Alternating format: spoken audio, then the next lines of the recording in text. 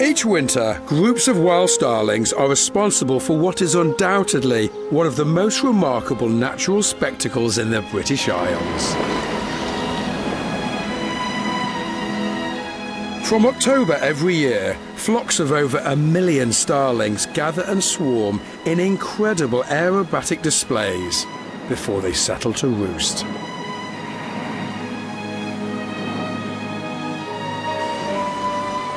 These birds know there's safety in numbers. Stunning footage like this can only be filmed from a distance to avoid disturbance. But often, filmmakers want to get a lot closer.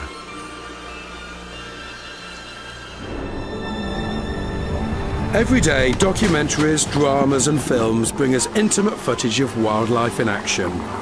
But for these more demanding shots, trained animals are often used. And so the filmmakers turned to professional handlers and trainers like Lloyd Buck. Lloyd and his wife Rose have trained a wide range of the birds we often see on our screens. But when they were approached to train a group of starlings, they were astonished by what Arnie and his friends were capable of. Hey! Well, having kind of met a few bird trainers in my life, I have to say, most of the time it's golden eagles, um, goshawks, peregrines, but starlings, why a starling, Lloyd? We were approached by a film company two years ago. The director particularly wanted a starling for the role within the movie. Nobody captive breeds starlings, so we had to get a licence from Natural England to get them a few days old, because obviously you want to hand raise them so they get really tame, so they'll fly with you and want to work with you within a film set. They see you as their parent, you become the parent. That's why it requires so much time and effort.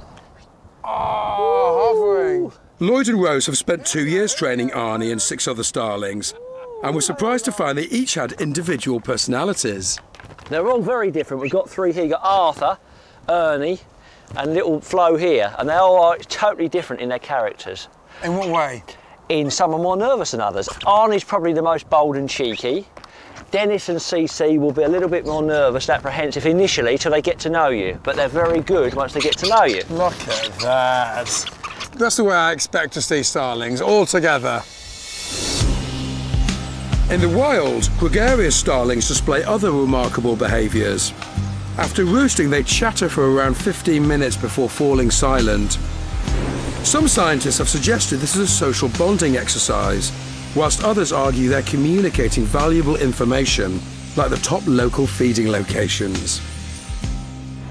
Lloyd, too, has noticed their impressive communication skills in his flock. Say hello. Say hello. Yes. He's mimicking. He is, and the funny thing is we haven't taught him any of that. He, he's just picked it up. If you're on the mobile, of course you're saying yep all the time. You say hello to them in the morning when we first see them, so they just picked all that up. Does he say any other words? Not when he's out and about like this, but in the evening, that's when they'll say whole things like um, Rose sometimes says to them, "You want kisses?" and he'll say that, and some of the others will say that as well. He's singing for his supper, basically. He is. He knows if, he, if he's a good boy, and not watch this, he'll flip the lid off. Do you know what's interesting about that? Just shows you how clever these little guys are. He knows, flip the lid off, the food's inside, and he knows how to get the lid off. From just a few days old, Arnie bonded not only with Lloyd, but with his car as well. He sees them as fellow starlings, and his instinct to flock allows us to capture the kind of remarkable close-ups usually only seen with larger birds. Oh, wonderful! come on, come on. It's the most incredible view! Yeah, oh, wow, right next to us! Come on, little pal, look at that! That's it. Oh, it's sensational! So the next time you see a huge flock of starlings dance across the sky in unison, remember, they might all look the same, but they each have their own individual personalities. Just like Arnie. You are one greedy, clever little bird.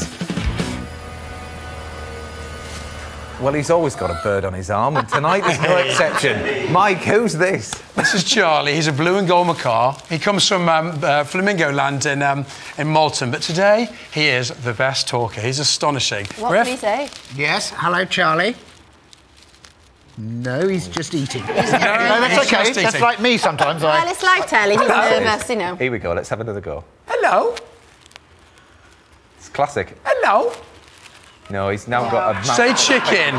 This is entirely my. Try t- talking to me instead. Well, I know he's of been Bob. very quiet, Chicken. Mike. But uh, why do birds learn to speak? What, what's the, what's Well, story? birds learn to speak for a number of reasons, actually. Um, what they, it's primarily the kind of the sociable or flocking birds that kind of get together. Always they're chatting to one another. And so you take one of these flocking birds out, primarily parrots or starlings, things like that. And what they do is they think the humans around them are their mates and they chat away to them and they learn by rote, or kind of like by mimicking. And all of a sudden, hey, Preston, they're talking. Say chicken, chicken. Oh. oh. Say dog, dog. Oh. Talking back. Give us a kiss, give us a kiss. Oh. And There Mike, you go. found some of the famous talking birds from the past. Oh, he said peanut. Did you hear him say peanut there? He wants a peanut, bless him. We've got a budgerigar called Sparkie. Yeah. This is a famous bird in Newcastle upon Tyne. And um, he won a talking competition. And from there, he kind of went to have his uh, voice recorded by Parlophone Records. He's had records. He's um, done all manner of things. And have a look at this amazing footage of him talking. They call me Pretty Sparkie. I'm just a little bird, but I can talk and chatter all the day. Nursery rhymes plainly can be heard. I'm a clever little budgie, aren't I? eh? I am. I am reliably informed that is the budgie talking, and he can still be seen up in Newcastle upon Tyne. Unfortunately, he's stuffed. And he's also a ventriloquist, that Yeah. bird. He wasn't even know, moving his amazing. feet. I tell you, you, you can't beat northern birds. You really can't. Anyway, Mike, thanks ever so much. Cheers, Charlie. Enjoy the peanuts. Yeah. Now then, flat pack furniture can be fiddly. Okay, you get it home, there's always a screw missing, and the, the whole chest of drawers falls apart as soon as you put a pair of socks in the drawer. That's true. Uh, but at least your life doesn't depend on it. Marty Jock